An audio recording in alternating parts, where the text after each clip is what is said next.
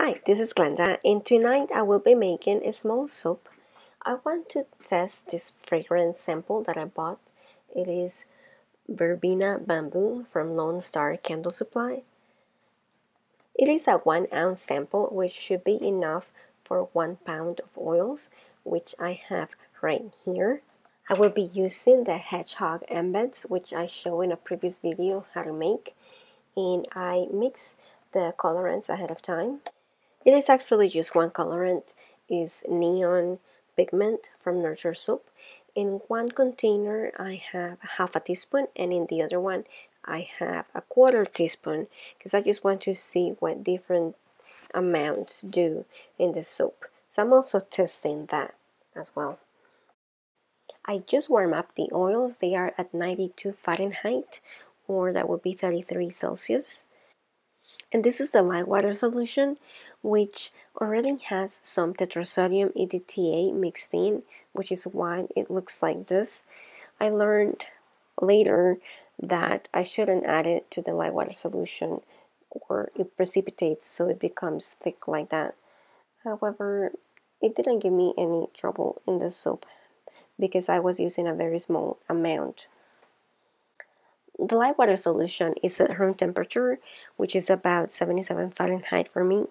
And I did take the oils back to be warm up again. So now they are at 97 degrees Fahrenheit because I want to avoid having false trace. I don't want them to be too cool. Uh, the colors are blue because I want them to look like they're swimming.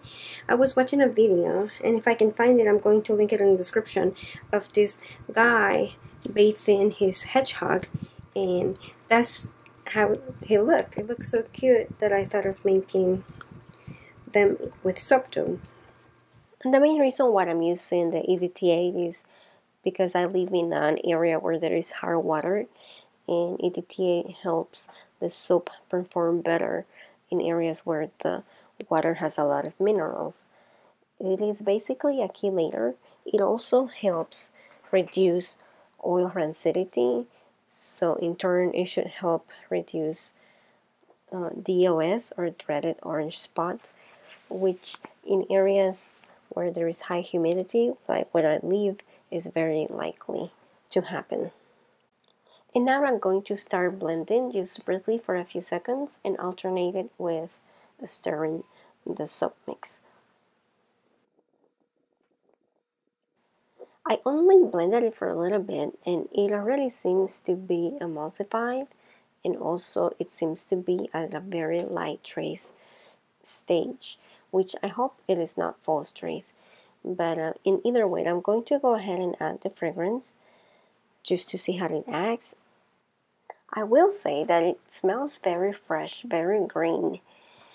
Um, it almost reminds me of the scent of Irish spring soap.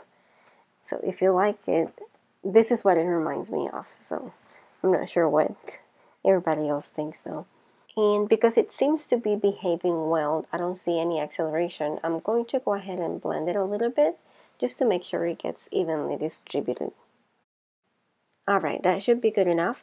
I'm going to go ahead now and divide it into three portions of 8 ounces each.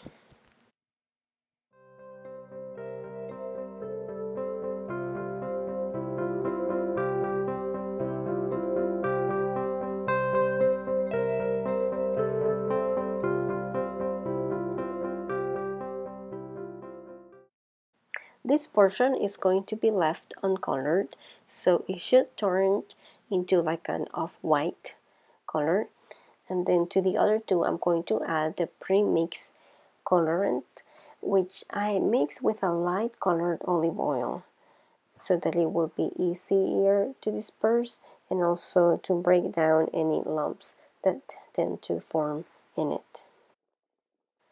Against my better judgment, after stirring it with a spatula, which was good enough, I decided to use a stick blender. And this incorporated a lot of bubbles into the mix. So I was having to tap it against the counter just to make sure that the bubbles came to the surface where they could dissipate.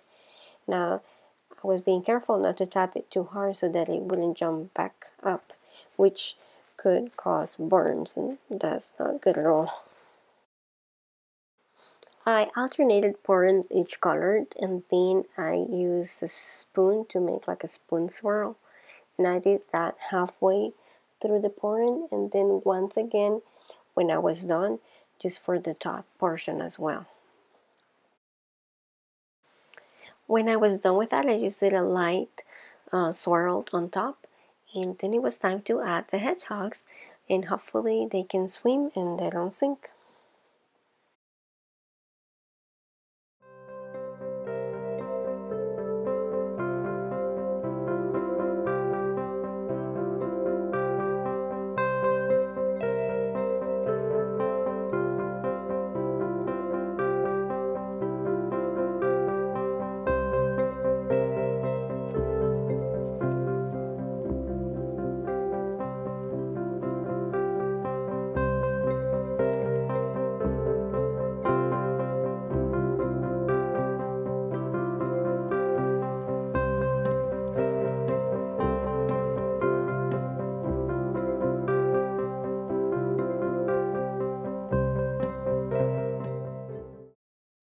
I decided to wait three days to make sure that I could get this soup out of the mold without damaging it.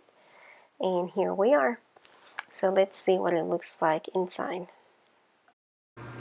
Oh, that looks nice. I like that.